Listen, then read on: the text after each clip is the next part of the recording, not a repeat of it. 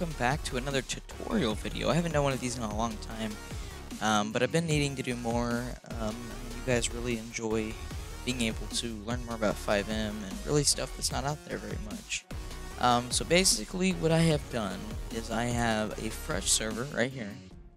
Um, completely no scripts, nothing. It's just basic server. And what we're going to be going over is just literally how to set up a FiveM server with Zap hosting and to get everything set up. So let's go ahead and get into it. So starting off, you're going to have, of course, your IP address. This is how you're going to connect to the server. So this is what you put in Direct Connect. This is all that fun stuff. So you will make sure that you have this. And it'll always be up here. Just make sure you have that saved so that we don't ever have to go back in here about a thousand times. Um, this one's on Linux. Uh, Zap Hosting's Linux servers are a lot more stable than their Windows, so that's the reason I chose that. But whatever, if you have Windows, it's no big deal. Alrighty, so down here it kind of has your um, status of your server, online, offline. It's offline, of course, right now. There's nothing on it. Location of it, IP port again, all this fun stuff. How many people are on? This stuff, I mean, it's just kind of for your own personal usage to look at. It's really not that big of a deal. Um, up here you have, um, if you're interested in actually changing the name and everything, you'll go to settings. So settings will have literally everything um, for your server.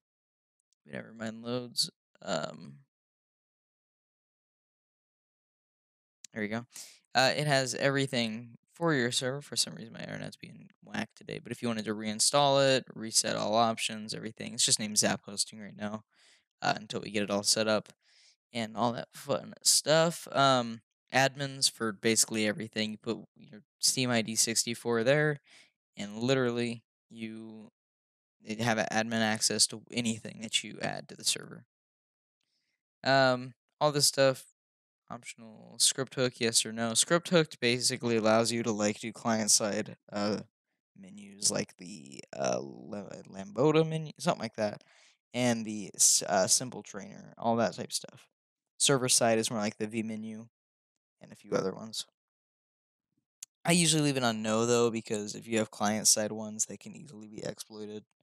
It kind of can up your server server tags. So this is just kind of what appears on your server. Um, and all that fun stuff. If you ha- you know, if someone say you put uh, English here, then and then you would comma or comma, and then basically what you would do is if you saved it, then if someone went and they went into the English uh, tags section, they checkmarked the English tag section, then they will um, automatically or not automatically but your server will be in that server list. It might not be at the top but it will be somewhere in that server list basically what that is.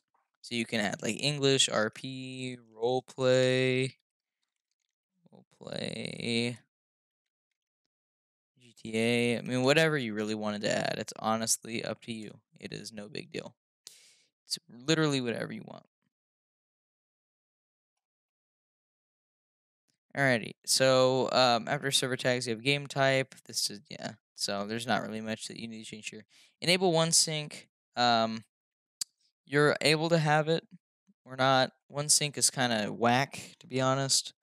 Um, in my experience with using it, I've had a lot of issues with it. But if you have a um, higher amount of people in your server, so say yeah, I have anything over 32 slots then yeah, it's automatically active for the reason of it will um, try to sync everything in one. But if you have a small server, it's a lot better deactivated from my experience. Um, the recon passwords basically the password that you're going to be using um, to get into um, a few things that we'll talk about later. So that's something that you need to keep private. Um, I haven't really had a need to use this, so it's no big deal.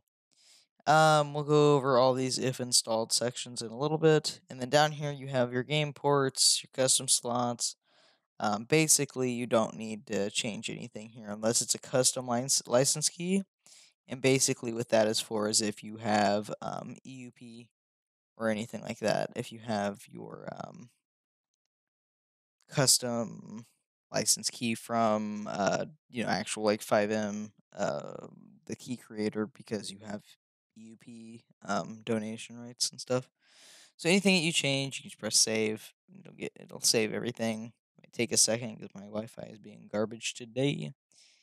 And yeah, so that's everything. We'll go ahead and just change this to um, Maquany's tests, not text, test server. And then we'll go ahead and save it. So now the server will be named Maquany's text server whenever it comes up in the um in actual FiveM.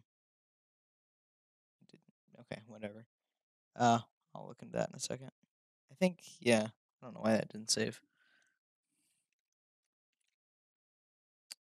Test server. Save.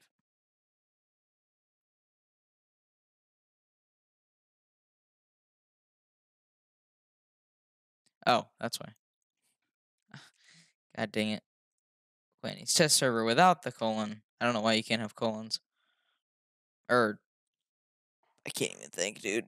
It's so late. Um, doing this way late at night, trying to get it, you know, get it done with. I've been needing to do this for a while, so yeah. Alrighty, so uh, we're just at settings now. Configs has like your configuration files. Now, if you install like the vMenu or maybe some other add-ons that you can configure uh, with Zap hosting, this will be the place to have it. We'll come back to this whenever we do like vMenu explanations and stuff. This is just kind of like a broad explanation of Zap hosting and what you can really need to use from it. Um, your server.cfg, you just open that there. Has all this info. You're like, what the fuck? Probably. You're like, well, how the hell am I supposed to know what to do? Once again, we'll go over all that um, in the future whenever we, uh, you know, add scripts and do other things in different videos. Uh, the next one below that is games. There's nothing really uh, to do here other than just, you know, it's just kind of the games that you have. So that's pretty useless for your uh, server unless you're wanting to change something. Uh, the next one that we have is um, versions. So if you wanted to update your game version um, or de- downgrade it if you really wanted to, you can. So we can change game version, reinstall, change now this is loading. Yep, drop down. So I have the most recent one installed, but you can go all the way down to 8.6, 18.6.8 if you absolutely wanted to. So yes. Um, going down one more, you have resources. Um, the resources folder is what Zap, what the plugins that Zap Hosting, uh, you know, can give you to configure, or not all to configure, but you know, some can be configured. This is basically the only the stuff that they give you. Uh, MySQL async. Um, I've literally seen no reason not to have this. It's pretty useful for the server. Essential mode. Uh, it just works with MySQL async to do um, admin stuff and other stuff. Um, Dunko's VRP pack. That's more like an economy based pack thing. Majiggy. I'm not really big into economy based, but that's an option if you wanted it. Uh, easy admin just another admin thing. vMenu, always useful. Um, almost every server nowadays, uh, including the big ones like DOJ and OCRP and stuff, uh, all include this vMenu. This is the server-sided menu that is, um, yeah, with like every server uses it. is very, very nice. Uh, the traffic adjuster is really useful if you have a lot of scripts or a large amount of people in your server um, above that max mark it is very useful. Um, what it does is it, it gives you the ability in the configuration file area uh, to adjust how many like walking PIDs and how many um, driving PIDs and stuff. So you can change the amount of AI that's in the game to make your game not lag as much, not do a stupid shit, and all that fun stuff. Um, the ESX full pack. ESX is very popular. It is um, economy based very big. Um, a lot of servers use it. It's pretty much standalone. Like I have it in SADPC. Um, and you know DOJ and all them have it. Well, DOJ has their own economy based thing, but and so does OCRP. They kind of have their own thing. But in SADPC, I know SADPS does it. Um, those type servers were standalones, so we don't have any sort of like economy based or uh, server based pack like this. Uh, there's a lot of uh, customization that you can do with ESX though, with jobs and scripts and stuff. There's a ton of it. So if you're interested in economy based, that is something to check out. I won't be doing a whole lot of economy based um, tutorials on this channel, seeing as I really just have not done a whole lot of ESX stuff. Uh, this is PvP enabled. This is 100%, in my opinion, required because for some reason FiveM base game does not allow you to kill other people, um, which is weird. I don't really understand that, but that is 100% useful and there's no reason not to have it. Uh, same thing for this one. Fix holes in map. Basically, base game FiveM, um, where every place that would have like the chicken plant interior, uh, gas stations, all that type stuff, uh, is literally just a gray hole. Simeon's, um, everything's just a gray hole in the ground. Uh, you walk into it and you just fall through the earth and then teleport to the top again. Uh, this allows you to actually have interiors to it. Uh, Nucleus plugins, just extra admin type stuff. Again, chat logs, settings, all that. And the whitelist, this is a Steam ID 64 whitelist. If you're a whitelisted server that wants to use Steam ID 64s, um, then yeah, this is the one for you. Alrighty, um, moving on down to FTP browser. This is where you're going to, you know, learn how to add your files and stuff.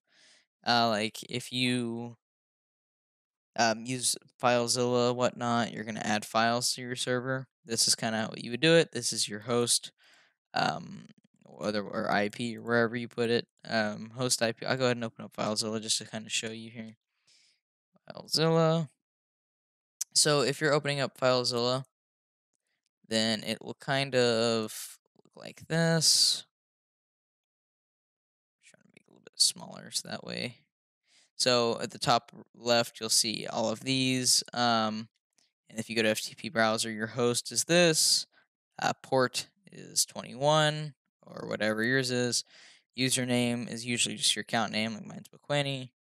And the password is what is um, right here. You'll click this little I, and that's where you put the password. We'll go over more to do with FileZilla whenever um, I actually, you know, make a tutorial about it. But for now, that is pretty much it for um, that section. Um, under the uh, databases section, this is where you do stuff, um, specific scripts such as FivePD, stuff like that. You can add to here uh, passwords again. Usually, though, you'll kind of um, do that. Well, I'll create a tutorial on FivePD probably in the future. No promises, though yeah, it's just kind of like you know you'll create it and go on with what needs to be done because uh, you'll create a database connected to your FiveM server. That's how FivePD works. Um, backups basically just allows you to back up your store or your server in case um, anything goes wrong, uh, in case you have any problems or anything. I think it's useful to do. I haven't done it yet because this is a new server, but yeah. All right, so that is basically it for a brand new FiveM server. Uh, like I said, um, I went through kind of all the basic stuff. All, the other tabs that I didn't go through are pretty useless, like um, all this stuff, nucleus, messages. That stuff is pretty useless for what you need to know as far as base server stuff goes. But yeah, so server name, all that fun stuff. And I hope you guys enjoy. This just a quick kind of tutorial about how to um, get your FiveM server base set up on Zap Hosting and kind of explains to you what each thing is. And I hope that you guys enjoyed. I'll be doing more descriptive ones, of course, on different um, things in FiveM, such as text boxes, text chats, um, basically all types of stuff scripts to cars to everything liveries i'll be doing it all and i hope that you guys enjoy. You guys for watching. I'll see you guys next time.